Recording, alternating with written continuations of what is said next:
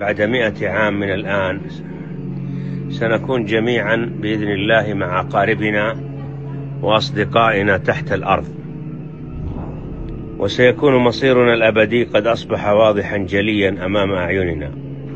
وسيسكن بيوتنا أناس غرباء. وسيؤدي أعمالنا ويمتلك أملاكنا أشخاص آخرون. لن يتذكروا شيئا عنا. فمن فينا الآن يخطر بباله أبو جده.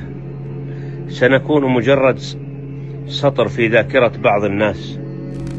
أسماؤنا وأشكالنا سيطويها النسيان. فلماذا نطيل التفكير بنظرة الناس إلينا وبمستقبل أملاكنا وبيوتنا وأهلنا؟ كل هذا ليس له جدوى أو نفع بعد مئة عام.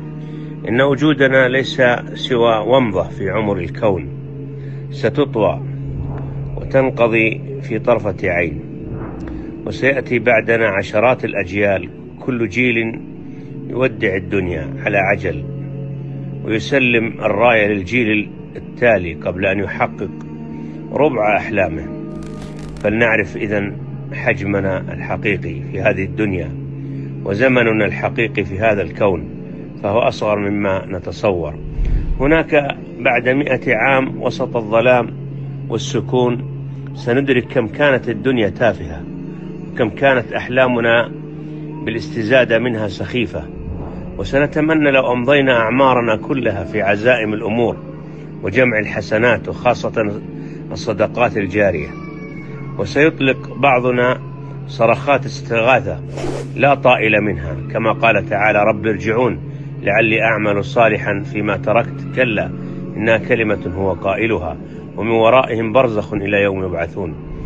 وسيقول آخر ربي لولا أخرتني إلى أجل قريب فأصدق وأكن من الصالحين. وسيقول آخر يا ليتني قدمت لحياتي طالما يا أخي المسلم لا زال في العمر بقية فلنعتبر ونغير يا لها من رحلة تبدأ من ظهر الأب. إلى بطن الأم ومن بطن الأم إلى ظهر الأرض ومن ظهر الأرض إلى بطن الأرض من بطن الأرض إلى يوم العرض. وفي كل محطة ترى العجب وفي النهاية تحط الرحال إما إلى الجنة وإما إلى النار.